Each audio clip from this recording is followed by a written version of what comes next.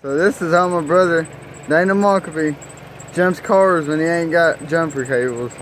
He got a pair of extension, extension cord, Needle nose, some needle nose, pliers, some pliers, channel lock. channel locks, and a glue gun to fix the throttle cable. He's gonna get shit done. I'll see if it'll start. Alright.